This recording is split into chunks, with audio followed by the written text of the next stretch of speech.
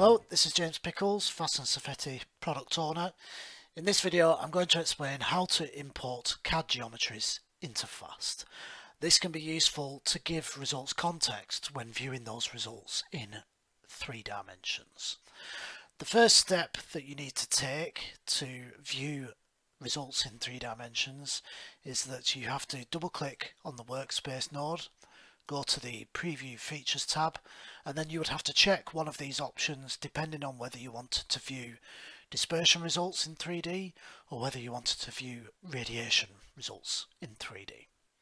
So you select one of those options, click OK, and it's important that you take that step prior to importing the CAD file. You go to the Map tab and then on the Data tab of the ribbon you select the CAD input option.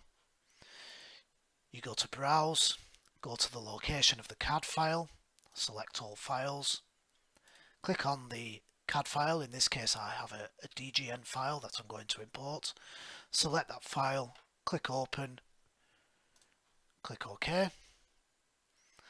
And then we'll leave the software a few seconds. And what it does is the software converts the CAD file into a KFX file. So it's converted this DGN file into a KFX file, which is then compatible actually with our KFX software. To view this CAD model in 3D, you go to view the view tab on the ribbon bar, select views, click geometry, and you can see now we can see this CAD file in the 3D viewer. You can find more information about this in the help file.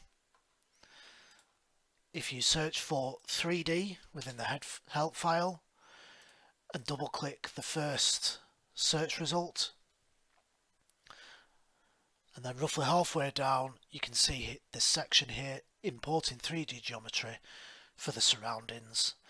This gives some instructions on on how to do it and it also lists the different file formats that you can import into Phast. To view dispersion results and radiation results in three dimensions is covered in a separate video. Thank you for listening and if you have any questions or would like to get in touch please email digital at dnvgl.com.